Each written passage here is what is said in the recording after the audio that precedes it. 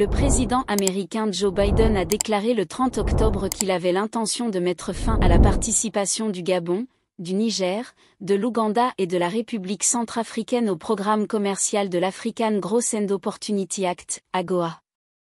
L'AGOA est une loi offrant des facilités commerciales aux pays africains pour exporter leur production aux États-Unis. Quatre pays retirés de l'AGOA par Washington, le Niger, le Gabon, l'Ouganda et la Centrafrique ils vont cesser de bénéficier de facilités commerciales pour exporter leur production aux États-Unis.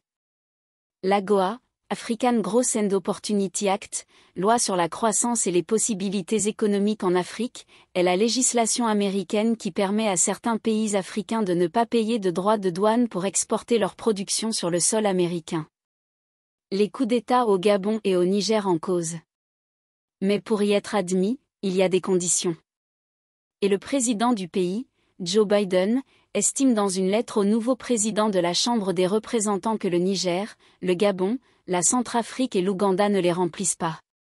Pour le Gabon et le Niger, la décision fait suite à la qualification de coup d'État des récentes prises de pouvoir par les militaires dans ces pays, avec lesquels les États-Unis ont déjà suspendu leur coopération. Joe Biden estime que Gabon et le Niger ne font aucun progrès vers le pluralisme politique et le respect de l'état de droit. Pour la Centrafrique, il y ajoute des violations flagrantes des droits humains et des droits des travailleurs. La loi anti-homosexualité dans le viseur de Washington. Enfin, l'Ouganda est épinglé pour des violations flagrantes des droits humains internationaux.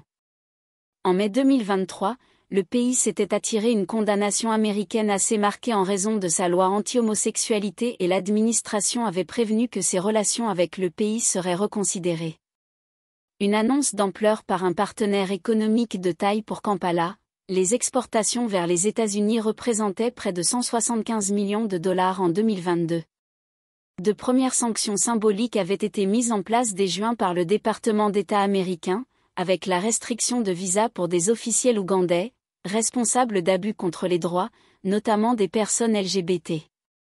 Au total, l'ONG locale Convening for Equality, a documenté près de 300 cas de violation des droits humains sur des membres de la communauté LGBT, depuis la promulgation de cette loi.